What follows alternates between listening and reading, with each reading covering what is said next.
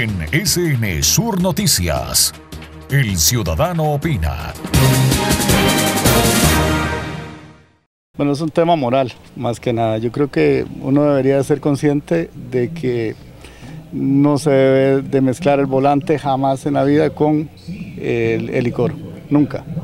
Es difícil, eh, me imagino yo, para los conductores. Eh, también usted lo dice el tema moral, pero han habido muchos accidentes, nos eh, aproximamos a una época donde también se da mucha ingesta de, licor, hay que tener mucha precaución en la calle. Sí, por supuesto, hay que ser consciente de que no es, no es sano, no es bueno, porque no es solo uno el, el que, el que se puede ver implicado, también hay otras personas que, que simplemente son, de, van, van por la calle, que no tienen nada que ver y de repente se ven afectadas. Sí, me parece muy bien la medida de la autoridad porque una persona no puede andar ingiriendo licor.